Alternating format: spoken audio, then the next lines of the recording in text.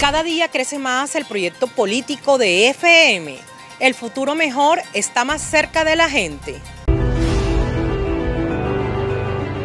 Buscamos a esos ciudadanos libres, a esos ciudadanos que no tienen jefes políticos y que no creen en los partidos políticos tradicionales.